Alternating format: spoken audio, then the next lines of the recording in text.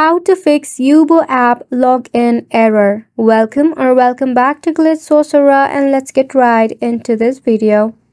So if you are facing login error for your Yubo app, make sure to check if you are connected to a VPN. If yes, disconnect it ASAP. Next step, check for your Wi-Fi connection.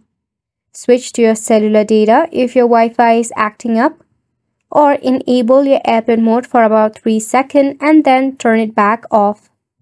Next step is to open up your Play Store or App Store and search for Yubo. In here, check for available update and leave the application for update if there is any. Or try by uninstalling the application and reinstall it later. Next step, press and hold onto your Yubo app and head to App Info. Force stop your app, head to Storage and Cache and clear up the cache. This will fix any of the bug or the glitch issue. If the feature is not available for your device, check out this alternative way. Open up your phone setting. Now head back to the main menu section. You have to select on the apps option then tap on All Apps. Search for Yubo.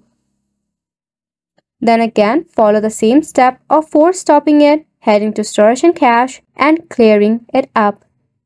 Also, while you are in your setting, you can head back and check for your system update. Make sure that your mobile system is up to date so that it can support the latest version of the Yubo app. And that wraps up this video as well. Thank you so much for tuning in.